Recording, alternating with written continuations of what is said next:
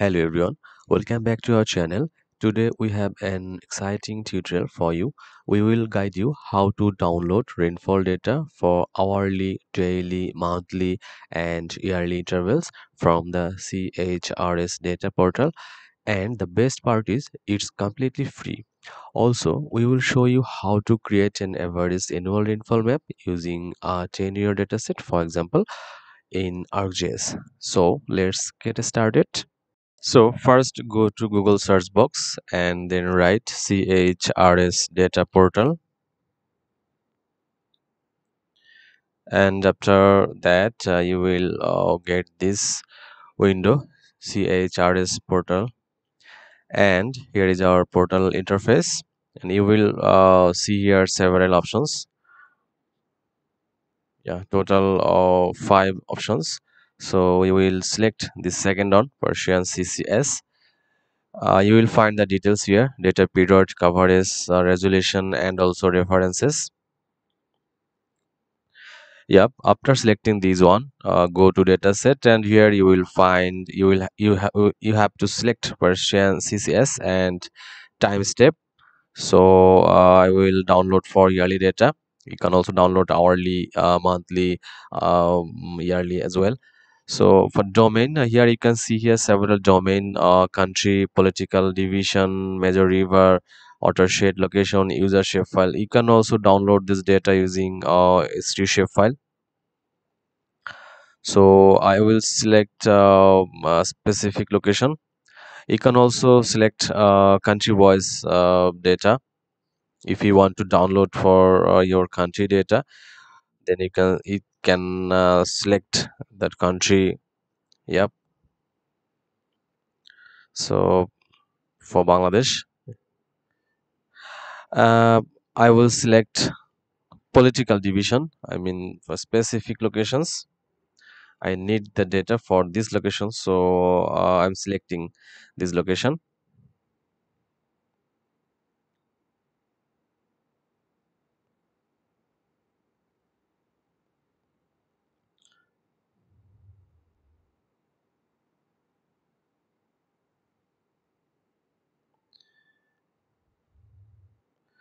and after selecting your area you will find here download option. Select data time i will download uh, 10 years data. So from uh, 12 to 21 and format. You will find three file format. Uh, i'm selecting tiff and compression data uh, file. Then click download and uh, you have to uh, write your email address here and then uh, click download. And click here. You can download directly from this link. Go to the downloaded folder.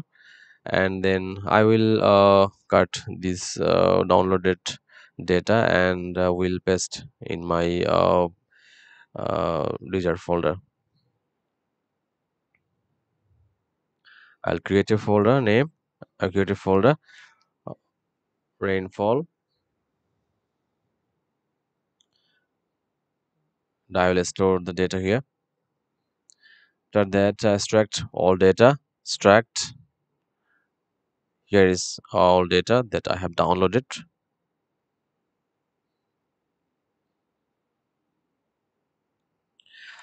And now uh, open ArcMap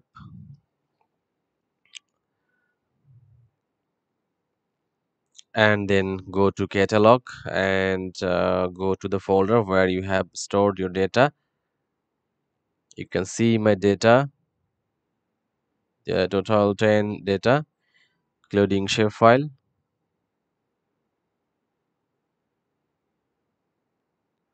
my study area shapefile it has been downloaded automatically when you select your desired location total 10 year data here. So i will uh yep i will add one by one.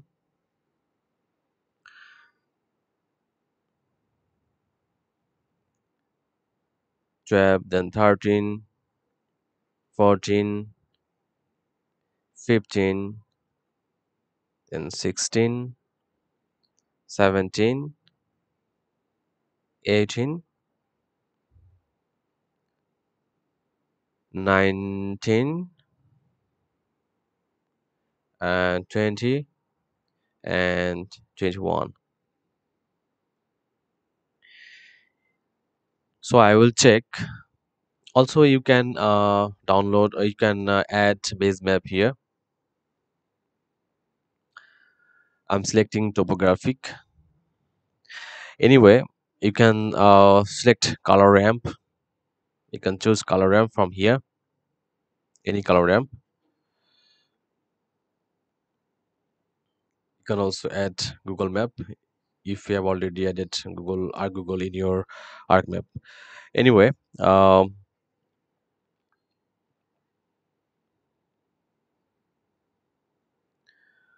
i will check uh, the source i mean uh, spatial reference so it is undefined you can see here. So we will uh, define the projection system. So for that go to arc toolbox and then data management tools and uh, then go to uh, projections and transformation. So here you will find define projection and just input a data set that uh, you you want to uh, change the projection i will change coordinate system uh, into geographic coordinate system world then wgs 1984 then click ok.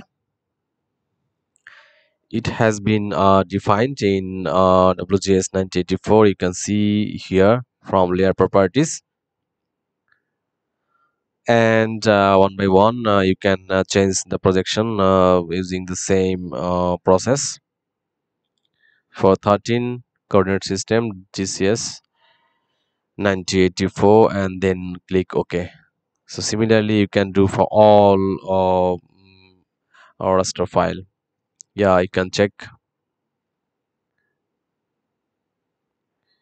Yes spatial reference WGS 9084 that I have been changed.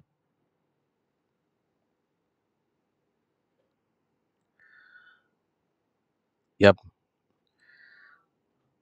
After that uh, go to arc toolbox and then uh, go to spatial analyst tools and then map algebra.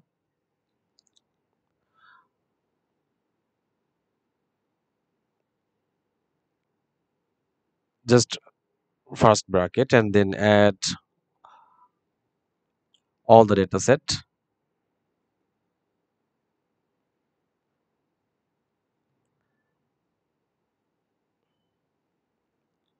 One by one plus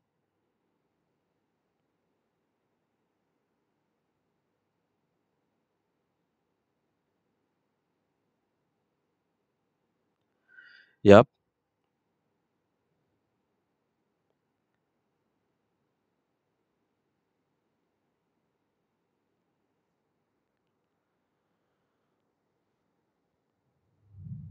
I will perform this uh, because I want to uh, get average data for 10 years. 10 years average data for my location. So divided by 10 and then okay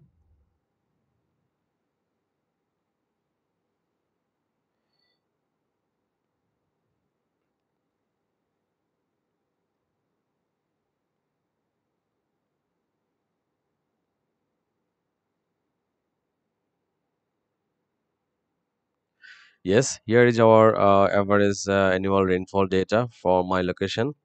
10 years average rainfall data. Yes you can rename it i'm going to rename it average rainfall.